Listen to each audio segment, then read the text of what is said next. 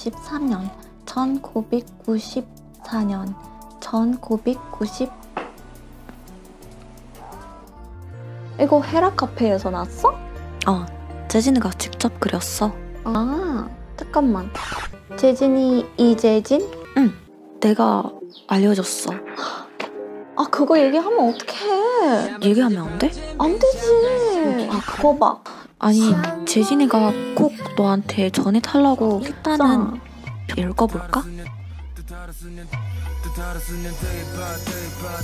Hai Assalamualaikum warahmatullahi taala wabarakatuh Annyeonghaseyo Nazaimida Welcome back to my channel Ada beberapa perkataan yang boleh membawa maksud tahun okay, Tapi tahun yang awak gunakan untuk macam tahun 2000, tahun 2001, tahun 1993 Yang tu dia ialah nyon okay, Nyon ni dia ada juga maksud lain So maksud yang tak berapa baik Panggilan kepada seseorang tu dengan cara yang tak baik So kita jangan guna yang tu Okay, kita tengok nyon yang membawa maksud tahun.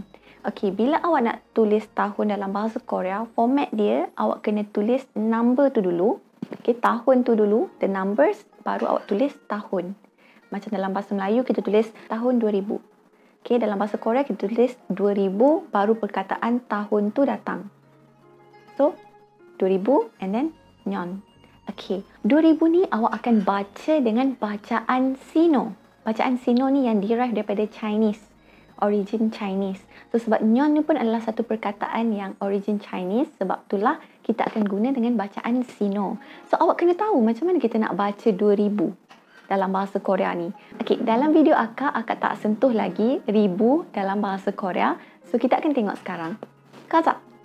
Seribu dalam bahasa Korea ialah chon. Chon. Awak tak perlu kata ilchon, tak payah. Chon tu dah membawa maksud seribu.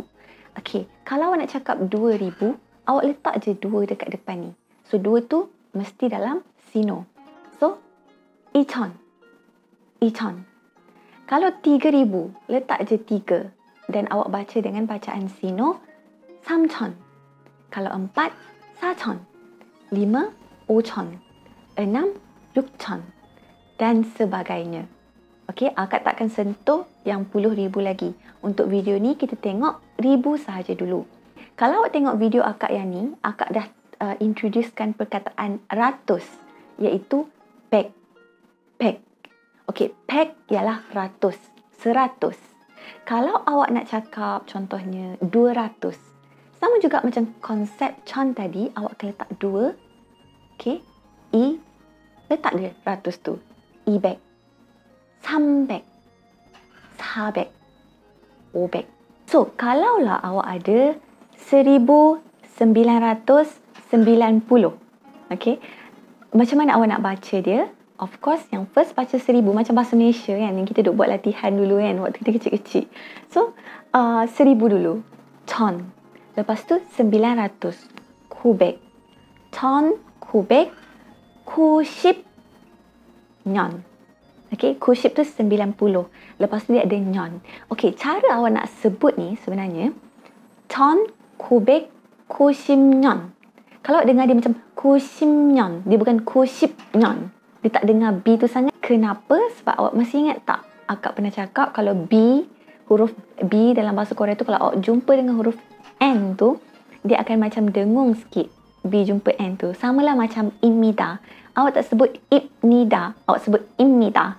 So macam tu juga dengan uh, number ni. Ton kubik kusip kalau 1990. Tapi kalau tahun 1990, dia akan jadi ton kubik kusimnyon. Macam tu. Um, ada orang pernah tanya, akak kalau nak tahun kena sebut full macam tu. Okay, tak semestinya. Macam juga bahasa Melayu, kadang-kadang kita sebut je kan, oh tahun 90 tahun 93. Sama juga bahasa Korea pun. Awak boleh je sebut tahun 90, tahun 93. Itu understood. Contohnya kalau awak, okay macam tadi kan, kita ada 1990. Kalau awak tak, tak nak cakap full, awak just nak cakap tahun 90. Awak just cakap 90. 90 ialah kushib. Tapi kalau awak tambah nyon, dia akan jadi kushim nyon. Kushim nyon. Kita tengok contoh 2000. Katalah awak ada tahun 2000. So, awak akan cakap 2000 nyon. 2000 nyon. 2000 nyon. 2000 nyon. Tahun 2000. Kalau awak cakap 2001, so awak form je. 2000. Then, tambahlah satu il. 2000 il. 2000 2001. Kalau tahun 2001, 2001년. Macam tu. Kalau tahun 2021, 2021년. Macam tu. Okay? So, next. Kalau awak pernah tengok video umur yang Kak pernah discuss pasal umur, okay, selalunya orang Korea ni bila tanya umur kan, dia orang akan tanya awak lahir tahun berapa, tahun berapa. So, dia orang akan bagi tahu uh, dia orang kelahiran uh, 93, 93 born, 94 born macam tu. So, dalam kes ni, awak akan tambah perkataan seng kat belakang. So, contohnya kalau dia cakap, uh, saya lahir tahun 93, 93년생. 저는 93년생입니다. 저는 93년생이에요. 93년생. 93년생. Alright, video akak tak nak panjang-panjang sangat. Thank you for all the support. Thank you for all the love. Thank you for all the nice and good comment. Um, and yeah. Okay, uh, siapa yang nak kimchi Najah Zain R boleh klik dekat link dalam description box bawah tu. And then, yeah, right. Thank you very much. And if you want more from me, you can subscribe to this channel. 감사합니다. 안녕히 계세요. 갑자기 왜 시? 안녕히 계세요. 또 만나요. 1990년, 1991년, 1992년, 1993년, 1994년, 1990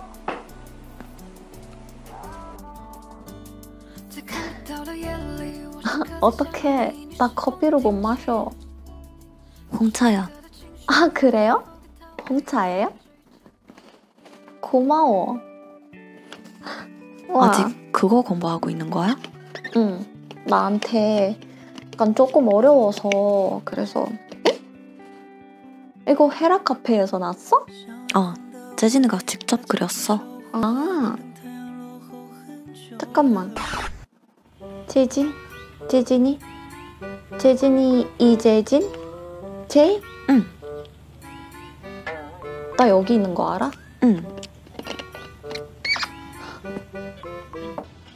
나 지금 뭘 공부하고 있는지 알아? 어, 제이가? 내가 알려줬어. 아 그거 얘기하면 어떡해 얘기하면 안 돼? 안 되지 아, 그래? 그럼 뭐라고 얘기 안 했어?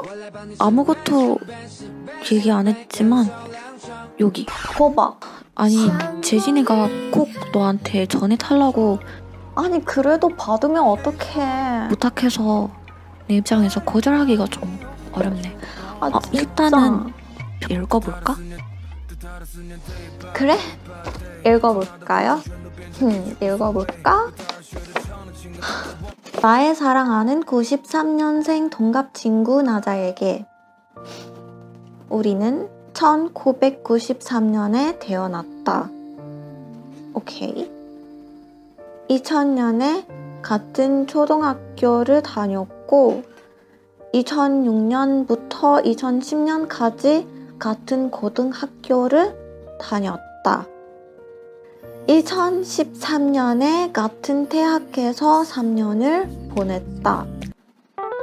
네가 1년 일찍 졸업한다고 해서 나보다 더 똑똑한 거 아니다.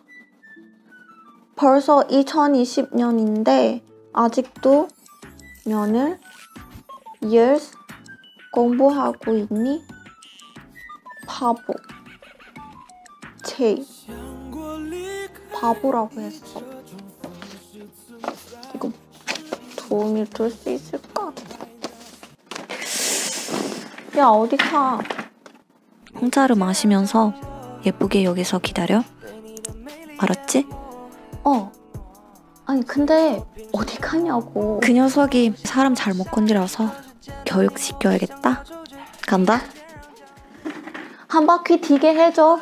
열 바퀴를 생각하고 있는데 오해 오해하게 만들 것이다. 간다. 이따 봐요. 응.